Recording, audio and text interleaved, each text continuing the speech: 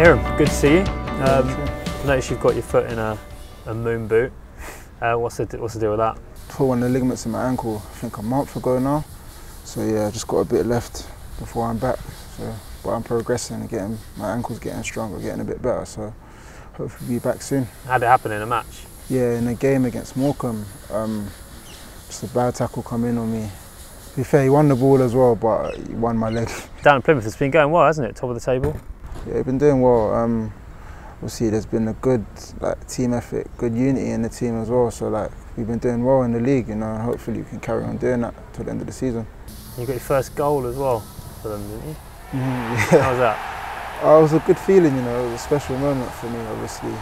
Like I haven't been notorious for goal scoring in the past, so Yeah, See, you when did I- that Maradona goal. yeah, that was my only one last season. So it was important for me, obviously, to get off the mark, and I was very happy, obviously, to score my first professional goal. Did they make you do any initiation ceremony things when you joined? Did you have to sing in front of anyone, anything like that? Yeah, on my first away trip to, I think it was AFC Wimbledon, I had to sing, had to bring out the high notes.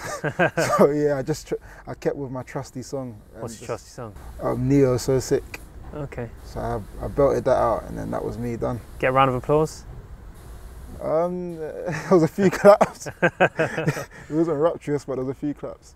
I remember you saying in pre-season that the manager here wanted you to work on talking a bit more on the pitch. Do you feel like that's something that, that's come on? Yeah, definitely. I think it's something that comes naturally as you get more more comfortable in a team.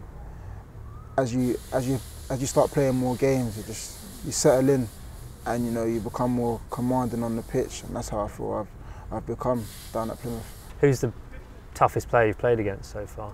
I'd probably say Alan Smith against Oh, yeah. against Notts County.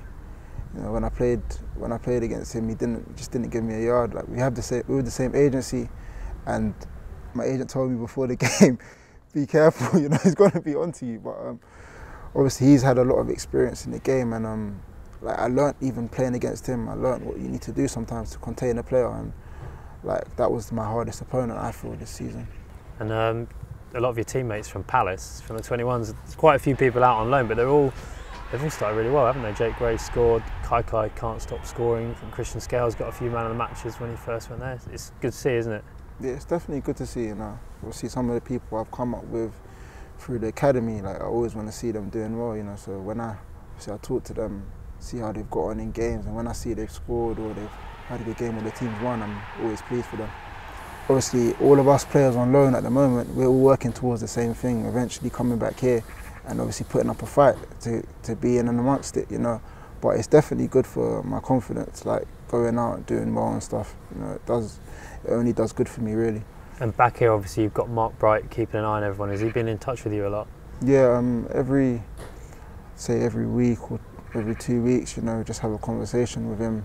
He'll he'll let me know what he thinks I've done well in the game or what I need to add to my performance from the last game, for example. Like he'll watch the clips over.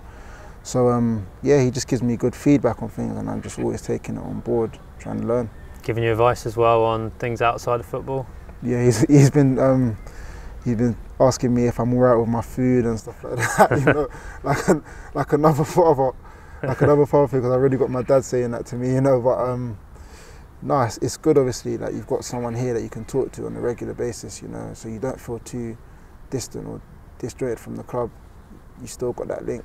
I suppose someone that needs that at the moment is Keshi Anderson. He's had quite a serious injury, hasn't he? Yeah, um, it's probably the worst thing that could have happened to him. To be honest, like, it seemed as though he was doing well at Doncaster, but um, see a lot of bad things happen in football. It's always it's a setback, and it's about how he bounces back. You know, obviously we all wish him a speedy recovery. And for you, just looking ahead this season, you're at Plymouth until January, aren't you? Um, hoping to extend it even further? Yeah, um, that's what it's looking like at the moment.